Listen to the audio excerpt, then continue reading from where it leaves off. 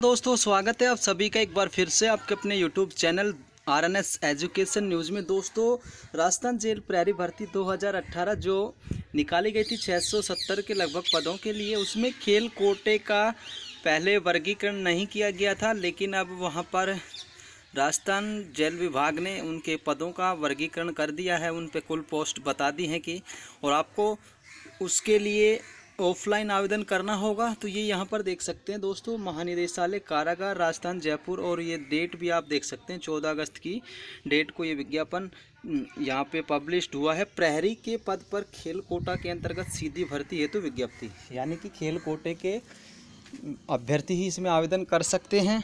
तो पहले ये जो दो प्रतिशत दो प्रतिशत पदों पर वैकेंसी निकाली गई है। तो इसमें टोटल नंबर ऑफ़ पोस्ट दोस्तों यहाँ पे आठ हैं। यहाँ पे जयपुर से दो हैं, भरतपुर से एक है, आपकी जोधपुर मंडल से एक है, उदयपुर मंडल से एक है, कोटा से एक है, बीकानेर मंडल से एक है, इस तरीके से अजमेर मंडल से एक है। टोटल मिला के आठ वैकेंसी ये खेल कोटे से निकाली गई हैं।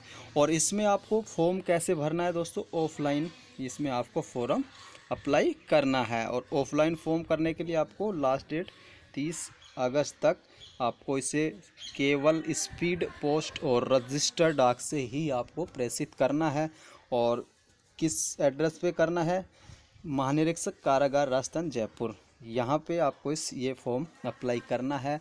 और एक और चीज़ बता दूँ दोस्तों, इस फॉर्म के बारे में आपको ये फॉर्म ऑफलाइन भरना है और डेट याद रख आपको है। इसके अलावा इसमें योग्यता टेंथ पास ही रहेगी।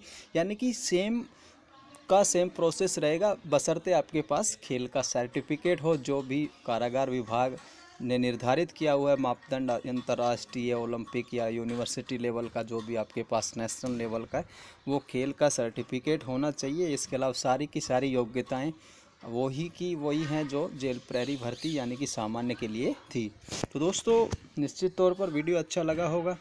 तो आज के वीडियो में बस इतना ही। डेट एक बार फिर से याद रख लीजिएगा दोस्तों, तीस अगस्त तक आपको इसमें आवेदन भेजने हैं।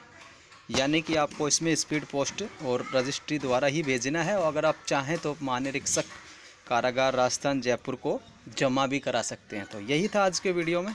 जय हिंद, जय भारत।